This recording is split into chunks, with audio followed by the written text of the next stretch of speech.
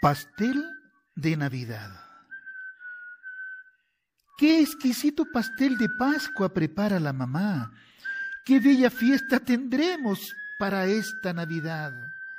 Sobre la mesa ha dispuesto casi todo el material. Qué guapa mamá Carmen con su lindo delantal. A falta de harina blanca, abrazos de oro y platino. En vez de fruta picada, afecto, ternura y cariño. Muchísimo amor mezclado reemplazando el clavo de olor y medio kilo de besos estirpados de su corazón. Ya todo lo amasa contenta, brillan sus ojos de evasión. Canta un divino villancico con su melodiosa voz. Cosiéndose está la obra con tormentas de calor que impregna la amada casa con aromático dulzor.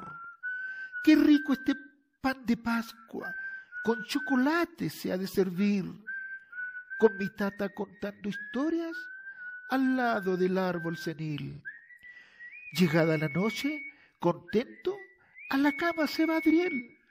Ya acurrucado se duerme, soñando el momento aquel.